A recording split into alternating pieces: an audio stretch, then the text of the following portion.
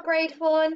Today we are going to learn how to be telling the time quarter past, half past, and quarter to the hour. So we need to know that a clock is made up of four quarters, and we need to know that the clock has two halves. If you have your clock there, have a look and see if you can identify where the four quarters are and where the two halves are.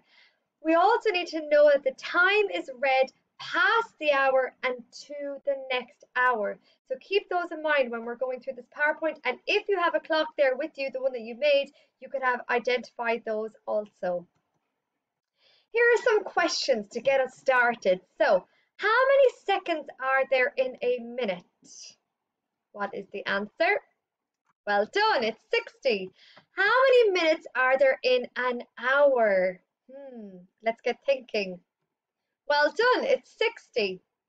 How many minutes are there in quarter of an hour? So if there is 60 minutes in one hour, we need to find out what a quarter of that is. This is quite tricky, but give it a go and see. Well done if you got it right, 15, and well done for giving it a go. How many minutes are there in half an hour? There are 30 minutes in half an hour. And we know that because in an hour there are 60 minutes. So half of 60 is 30. Oh, next one. How many days are there in a month? This could be a tricky question because remember there's a there's a different amount of days in certain months. So there's 28 to 31 days in some of the months. Does anyone know what month has 28 days? How many days are there in a year? Well done, it's 365. And how many days are there in a leap year? And this year is also a leap year. Well done, it's 366. Okay, so a clock face is a full circle which is made up of four quarters. How many minutes make up quarter of an hour?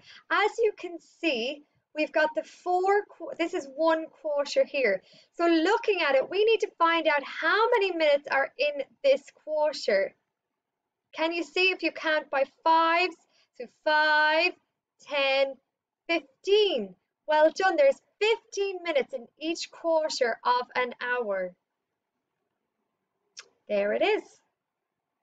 There are 15 minutes in quarter of an hour.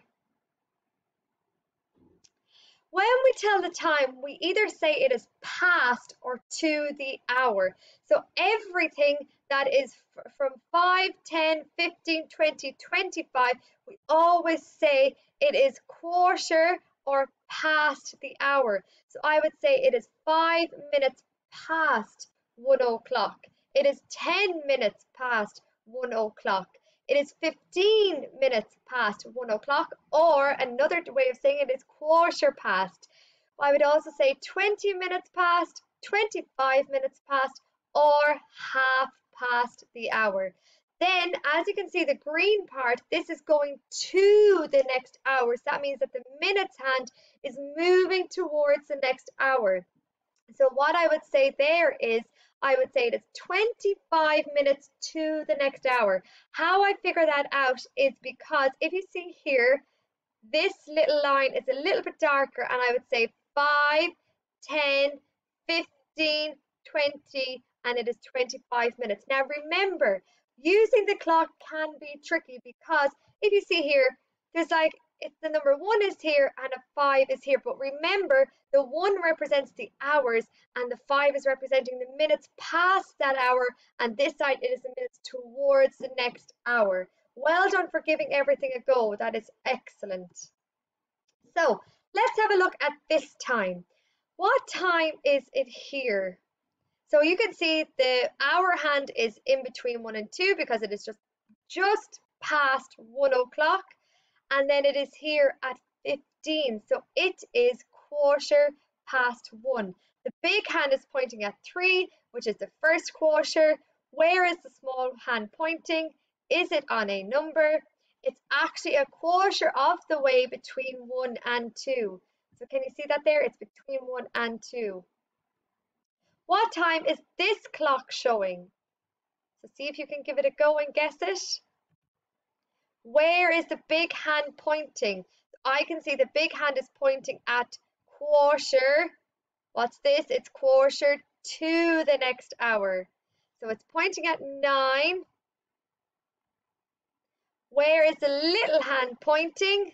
Well done, it's pointing in between 11 and 12. So three quarters of the way between 11 and 12. So it's quarter to 12. Well done. Now, what time is this? What do you notice about the small hand? So if you can see, when we go back a little bit, you can see that it is nearly to the next hour. So the, the small hand is closer to that hour. Whereas, what about here? It is halfway between the three and the four. So then that gives you a big clue. That means that it is half past three. So here is a little plenary. Which clock is showing quarter past? Which clock is showing half past? And which clock is showing quarter to? So give those a go and I look forward to seeing them. Bye.